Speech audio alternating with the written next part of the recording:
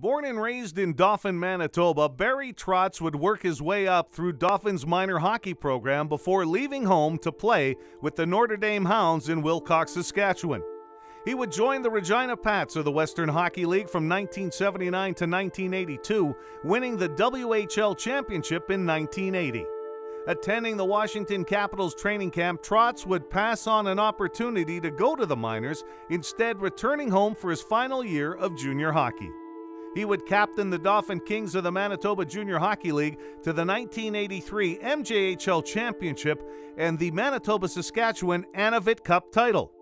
A back injury playing for the University of Manitoba Bisons shifted Trotz's attention from playing to coaching. In 1984, his coaching career began as an assistant to Wayne Fleming at the University of Manitoba.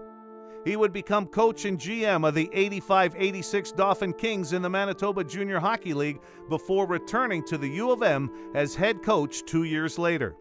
After a stint as head of Western Scouting for the Washington Capitals, Trotz accepted an assistant coach position with the Capitals farm team, the Baltimore Skipjacks of the American Hockey League, in 1990. He would step into the Skipjacks head coach position in 1992 the Skipjacks would fold and move to Portland, Maine, where Trotz would lead the Pirates to the Calder Cup title in 1994. In 1997, the NHL expansion Nashville Predators surprised the hockey world when they named Barry Trotz their first head coach.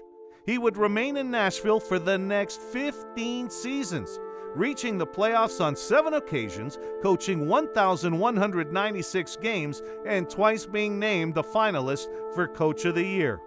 Released by the Predators in April 2014, Trotz's tenure with the Predators was the longest unbroken coaching stretch in league history. In May 2014, Trotz returned to the Washington Capitals organization as the 17th head coach in their history winning the NHL's Jack Adams Award as top coach in 2016. He has served as an assistant coach for Team Canada at the IIHF World Championships three times, winning gold in 2003. He is one of only six NHL coaches to have won over 700 games. The Manitoba Hockey Hall of Fame is proud to induct Barry Trotz.